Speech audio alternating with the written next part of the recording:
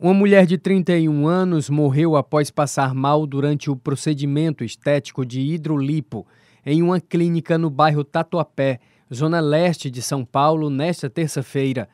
Paloma Lopes Alves teve parada cardiorrespiratória e foi socorrida por uma unidade do Serviço de Atendimento Móvel, o SAMU, mas chegou sem vida ao Hospital Municipal do Tatuapé. O caso foi registrado como morte suspeita. Segundo o G1, o marido de Paloma, Everton Silveira, contou que a esposa deu entrada no período da manhã na clínica de estética Manadei para fazer o procedimento na região das costas e do abdômen com o médico Josias Caetano e tinha previsão de alta no fim da tarde. Porém, ela passou mal e teve parada cardíaca. Abre aspas.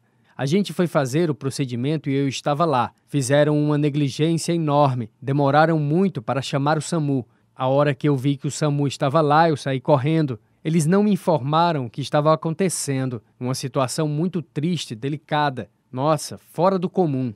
No hospital tentaram reanimar, mas ela veio a óbito. Fecha aspas, afirmou o marido.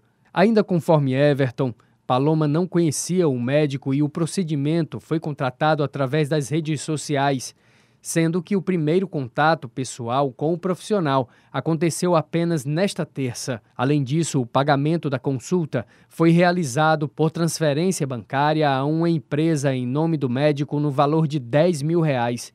A morte de Paloma Lopes é mais uma das recorrentes em clínicas de beleza pelo país. O caso foi registrado no 52º Distrito Policial, no Parque São Jorge, e está em investigação. Deixe o seu comentário. Para mais informações, acesse o portal o Povo, link na descrição.